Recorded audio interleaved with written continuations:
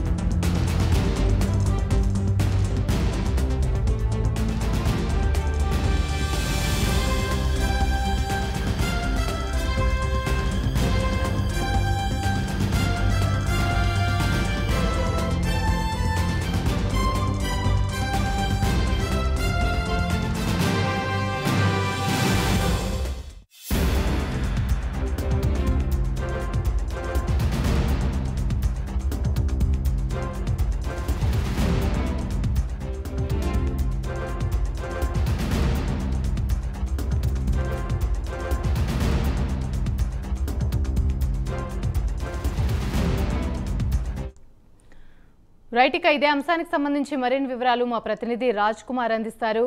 రాజ్ కుమార్ చెప్పండి BCY party BG BCY ఆధ్వర్యంలో విజయవాడలో వరుసగా రెండో రోజు కూడా జాబ్ మేళా అయితే కొనసాగుతుంది. దీనికి సంబంధించి పూర్తి అప్డేట్స్ ఏంటి?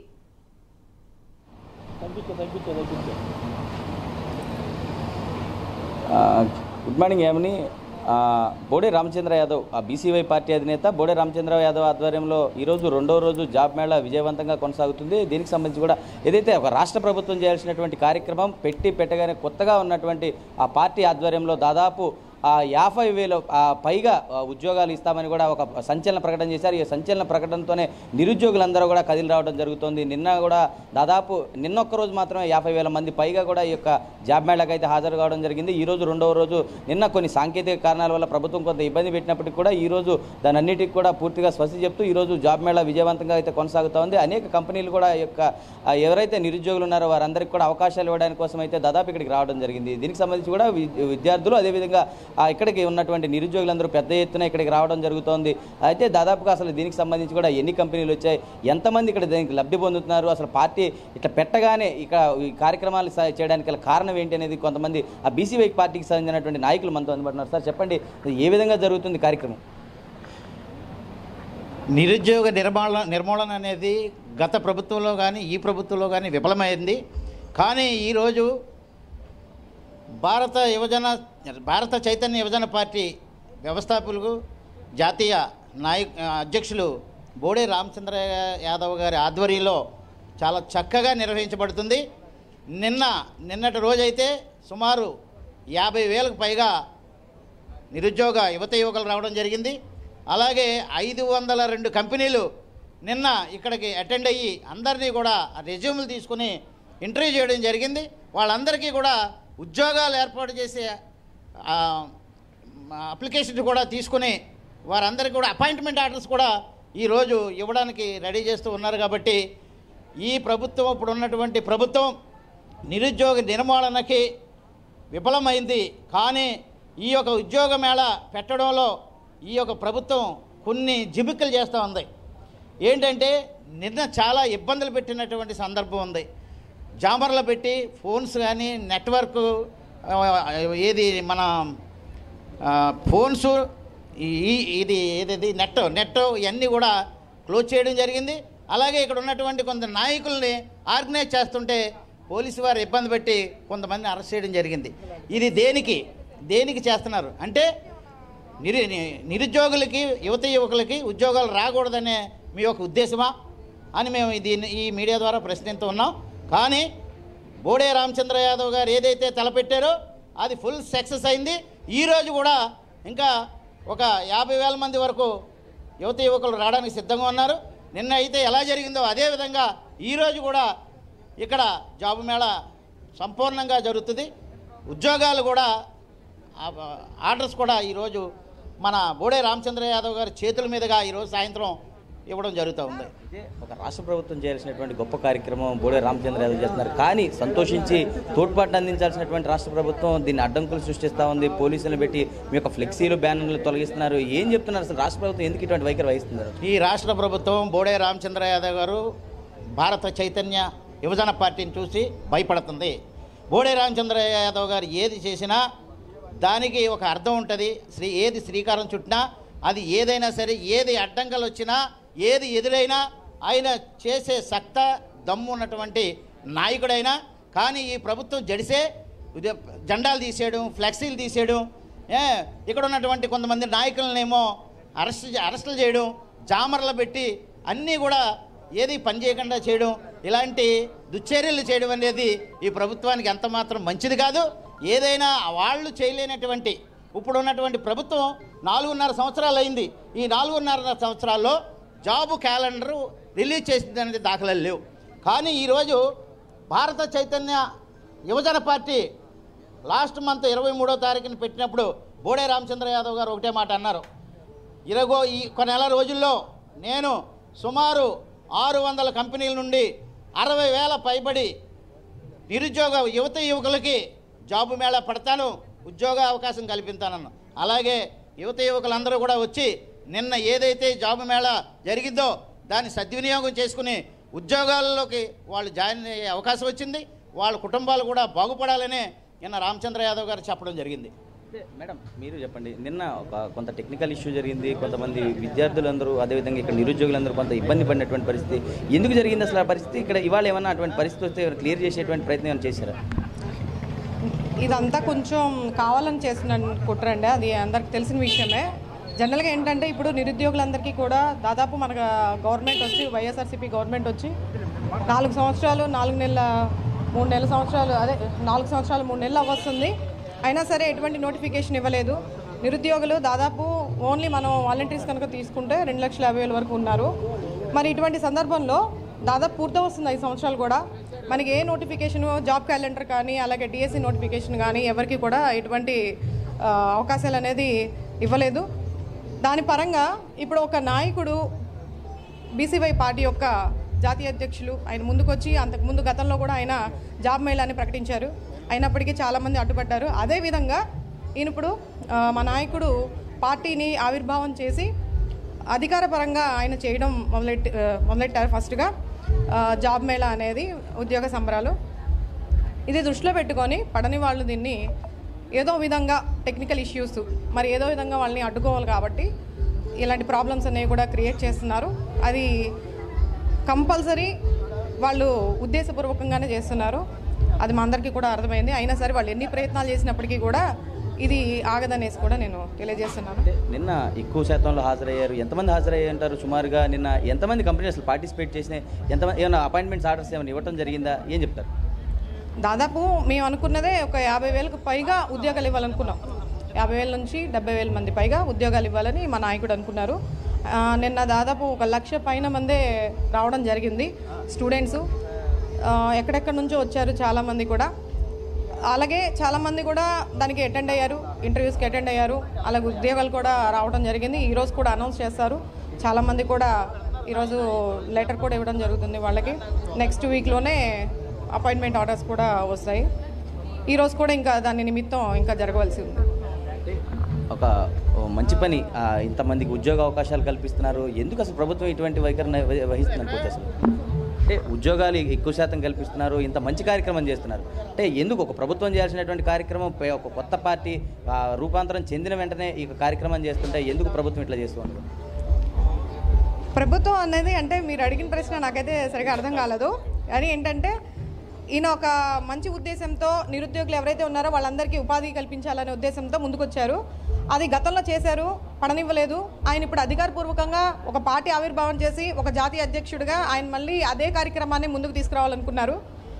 ఫస్ట్ నుంచి కూడా మన రాష్ట్ర అభివృద్ధి కోసం ఎక్కువ యువత చాలామంది చెడుదారులు పడుతున్నారు. అవన్నీ మనందరికీ తెలిసినవే కారణాలు ఏవైతేనేమి.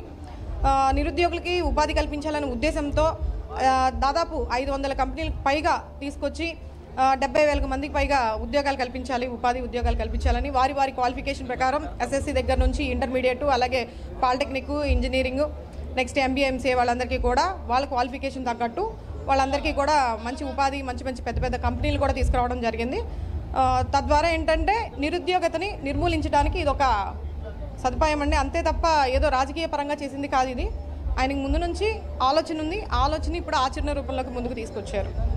అంటే సార్ మీరు చెప్పండి పదివే సంవత్సరానికి ఒకసారి జాబ్ క్యాలెండర్ రిలీజ్ చేస్తామన్నారు పెద్ద ఎత్తున ప్రభుత్వ ఉద్యోగాలు భర్తీ చేస్తామన్నారు ఇప్పటి వరకు కనీసం ఒక్కసారి రిలీజ్ చేస్తే అది కూడా పదివేల ఉద్యోగాలు మాత్రానికే పరిమితమైంది. నాలుగు సంవత్సరాల కాలంలో ప్రభుత్వం ఏం చెప్తారు అసలు దీని ముందుగా మీరు అడిగిన సమాధానానికి క్వశ్చన్కి ఆన్సర్ చెప్పే ముందు అనా ఒక రాష్ట్రం కానీ ఒక దేశం కానీ అభివృద్ధి చెందాలి అంటే యువత.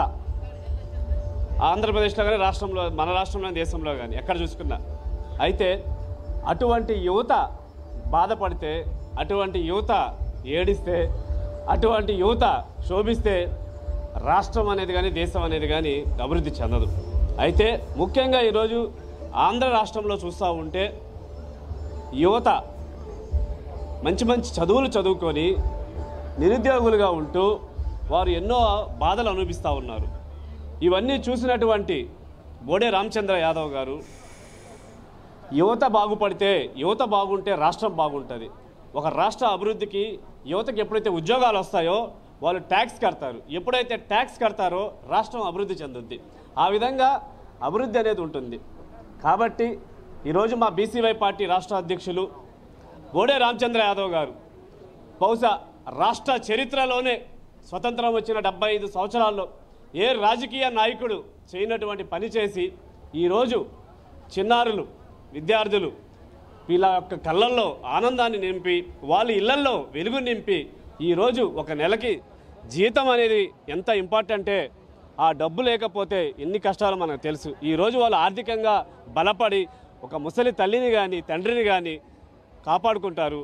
అనారోగ్యంలో ఉండొచ్చు వారు జీవనం కొనసాగించవచ్చు అదేవిధంగా ఒక ఫ్యామిలీ వ్యవస్థ నిలబడాలంటే మనందరికీ తెలుసు. ఒక పెళ్ళిళ్ళు కావాలన్నా ఆఖరాకి ఈరోజు యువత అంతా ఆ యొక్క ఉద్యోగం లేక చాలా ఇబ్బందులు పడతా ఉన్నారు.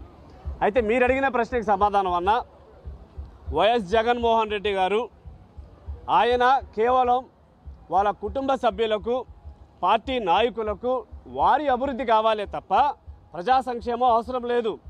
విద్యార్థులు అదేవిధంగా నిరుద్యోగులకి మంచి చేయాలనే ఉద్దేశం లేదు. ఏ వర్గానికి సంతోషంగా ఉంచాలన్న అవకాశం లేదు. కేవలం వారికి వైసీపీ కార్యకర్తలు వాళ్ళ కుటుంబ సభ్యులు లక్షల కోట్లు సంపాదించుకుంటే చాలు. ఒక్క నిరుద్యోగులు నిరుద్యో ఉద్యోగాలు ఇవ్వ ఇవ్వకపోవడం పక్కన పెడితే ఈ రాష్ట్రంలో ఇప్పటి వరకు ఒక్క ఫ్యాక్టరీ రాలేదు. ఒక కొత్త కంపెనీ రాలేదు. ఉన్న కంపెనీలని ఫ్యాక్టరీలను కూడా తరిమి కొట్టేటువంటి పరిస్థితి. ఆయనకి గాన కమిషన్ ఇవ్వకపోతే పార్టీ నాయకులు గాన మంచి చేయకపోతే ఉండేటువంటి ఓ కంపెనీలు కూడా పంపించేస్తున్నారు. ఇటువంటి పరిస్థితుల్లో ఎటువంటి అధికారం లేకపోయినా బోడే రామచంద్ర యాదవ్ గారు కేవలం ఒక వ్యక్తి ఈ రోజు ఇంత ఒక మహాశక్తిగా తయారయ్యి తయారయ్యి ఇంతమందికి జీవితాన్ని ఇస్తున్నందుకు మేము ఆ పార్టీలో కార్యకర్తలుగా ఉన్నందుకు చాలా సంతోషిస్తున్నాం. ఈ అవకాశాన్ని ఉపయోగించుకున్నటువంటి ప్రతి ఒక్క విద్యార్థి రామచంద్ర యాదవ్ గారికి రుణపడి ఉంటారు. ఇది కేవలం ఒక ఈ జాబ్ మేళా అనేది మొట్టమొదటి ప్రయాణం మాత్రమే. అన్న ఆధ్వర్యంలో రాబోయే రోజుల్లో కొన్ని లక్షల మంది యువతకి మంచి చేస్తారు. వారి యొక్క ఇళ్ళల్లో ఆనందాన్ని నింపే విధంగా రామచంద్ర యాదవ్ గారి యొక్క ప్రణాళిక ఉందని ఉందని చెప్పి సంతోషపడతా ఉన్నాం. అయితే ఇది ఇప్పుడున్నటువంటి పరిస్థితి. ముఖ్యంగా చూసుకుంటుంటే ఆ బీసీవీ పార్టీ అధినేత రామచంద్ర యాదవ్ చేస్తున్నటువంటి ఈ యొక్క గొప్ప కార్యక్రమాన్ని ప్రభుత్వం అడ్డంకులు సృష్టిస్తూ ఉంది. నిన్న కొంత సాంకేతిక లోపాన్ని అయితే ఆ జామర్లు పెట్టి కొంత ఇబ్బంది చేసినటువంటి పరిస్థితి. ఈ రోజు వాటన్నిటిని కూడా పూర్తిగా నివారించామని చెప్తున్నారు. ఖచ్చితంగా ఇక్కడ ఉన్నటువంటి యొక్క అవకాశాన్ని కూడా ప్రతి ఒక్క విద్యార్థి అదేవిధంగా నిరుద్యోగులందరూ కూడా వినియోగించుకోవాలి. ఎందుకంటే ఇప్పటివరకు ప్రభుత్వం చేయాల్సినటువంటి ఒక గొప్ప కార్యక్రమాన్ని కొత్త పార్టీ ఆవిర్భావం రూపాంతరం చెందగానే ఒక గొప్ప కార్యక్రమం చేయడం ఆ చాలా సంతోషించదగ్గ విషయం అని చెప్పి విద్యార్థులు అదేవిధంగా అక్కడ పార్టీ కార్యకర్తలు కూడా చెప్తున్నారు. రానున్న రోజుల్లో ఇంకా మంచి కార్యక్రమాలు చేయాలని కూడా వారందరూ కూడా ఆశాభావం వ్యక్తం చేస్తున్నారు. ఈ యొక్క రోజు రెండవ రోజు ఇక పూర్తిగా కూడా దాదాపు ఐదు వందల కంపెనీలు దాదాపు అరవై వేలకు పైగా అక్కడ ఉద్యోగాలు అయితే ఇక్కడ రావడం జరుగుతూ ఉంది. ఖచ్చితంగా కూడా ఈ యొక్క అవకాశాలన్నీ కూడా ఉద్యోగ విద్యార్థులు అదేవిధంగా నిరుద్యోగులందరూ కూడా ఉపయోగించుకోవాలని ఇక్కడ ఉన్నటువంటి వీరంతా కూడా చెప్తున్నటువంటి పరిస్థితి. Over to studio. Right thank you